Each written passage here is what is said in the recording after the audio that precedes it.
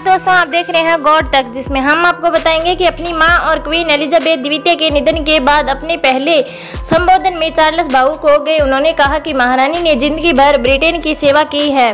Britain की महारानी Elizabeth द्वितीय के निधन के बाद बकिंगम पैलेस में ने ऐलान किया है कि प्रिंस चार्ल्स तृतीय देश के अगले सम्राट बनेंगे। पहले संबोधन में चार्ल्स भावुक हो गए। उन्होंने कहा कि महारानी ने ज़िंदगी भर ब्रिटेन की सेवा की है और कहा गया है कि उन्नीस में अपने इक्कीसवें जन्मदिन पर किया वादा उन्होंने पूरी ज़िंदगी निभाया ब्रिटेन की क्वीन एलिजाबेथ ने गुरुवार को स्टॉकलैंड स्थित अपने आवास पर आखिरी सांस ली।